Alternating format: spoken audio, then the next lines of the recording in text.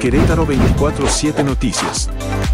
En las instalaciones de la 17 Zona Militar, la Secretaría de Gobierno Estatal Guadalupe Murguía Gutiérrez encabezó la celebración del 110 aniversario de la creación del Ejército Mexicano. En su mensaje, la Secretaria Murguía reconoció la contribución y apoyo que el Ejército ha brindado a este gobierno estatal. Por su parte, el comandante de la 17 Zona Militar, Julio César Moreno Mijangos, refrendó en este marco el compromiso de las mujeres y hombres que integran esta zona con la sociedad queretana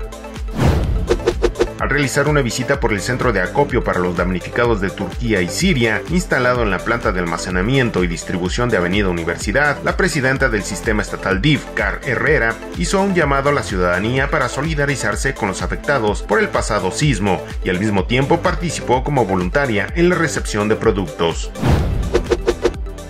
La directora de la Asociación Mexicana de Ayuda a los Niños con Cáncer, AMAC, en Querétaro, Patricia Otero Lara, señaló que la cuarta edición del Radiotón 2023 alcanzó la meta de recaudar 1.300.000 pesos, con lo que se apoyará a 321 menores de edad con hospedaje, alimentación, transporte, medicamento, material asistencial y desarrollo humano, con el fin de que continúen recibiendo la atención médica que requieren y no abandonen el tratamiento por falta de recursos.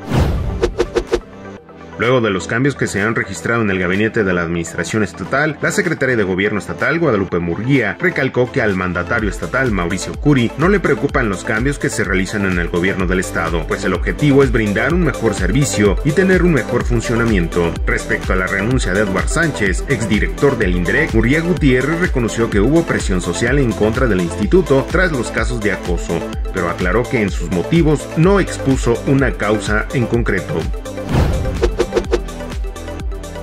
Querétaro 24-7 Noticias.